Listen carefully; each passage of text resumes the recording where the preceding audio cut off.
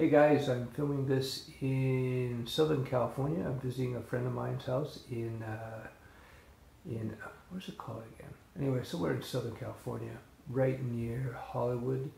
Somebody asked me if they can go into learning how to write code by just jumping into a framework. And I'm assuming frameworks like, for instance, PHP Laravel or Python Django or Ruby on Rails or Node, well, Node.js, but As a uh, as an engine. But anyway, whatever. So the quick answer to that is no. You have to at least learn your basics first. You have to learn the basics of the languages first. And once you have your basics, and that means variables, functions, arrays, data types, object orientation, object-oriented programming, and once you've gotten these simple things along that level, then you can jump into frameworks. And by jumping into a framework, the framework will allow you to even increase your skills and understanding of the basics even more so. The thing about a framework like Laravel, like Django, is that they show you a refined structure. So framework is just a library of code, if you will, that's set up in a particular structure that you can then use to uh, quickly build apps.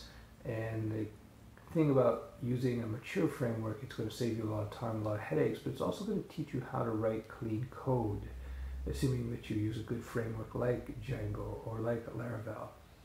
Not all frameworks do it in the same way. In fact, some are very different from the others. They're all different some way or another, but the good thing about learning frameworks is that you will learn different approaches. But again, you shouldn't just jump into a framework without having learned how to program at first. That's for sure. You have to at least learn the basics of the language.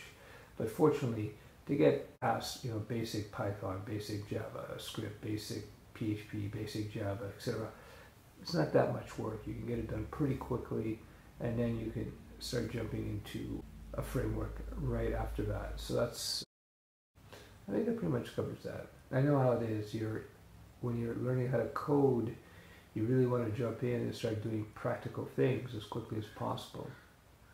Uh, the thing is, is that you'll get tripped up a lot because if you don't understand the basics of coding and you don't understand the basics of programming and the nuances of a particular programming language that a framework is based on, then you can run into little troubles and hiccups. So it's just kind of good to go over it quickly, get it, get your head wrapped around it, and then you're ready to go. Now, if you've come to a particular language having programmed another in another language you're gonna you know probably if you're a programmer but it's just so much easier.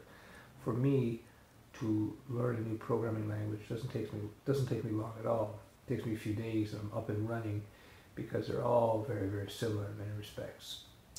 And that's about it. Just quick update on the Python course. I update I uploaded some new stuff while I was here in California but really I can't really record anything new here, so I'm going to be, when I get back starting this coming Monday, you're going to see a lot of Python videos starting to hit the uh, collection really, really soon. I'm, uh, I'm getting ready to go big time. Bye-bye.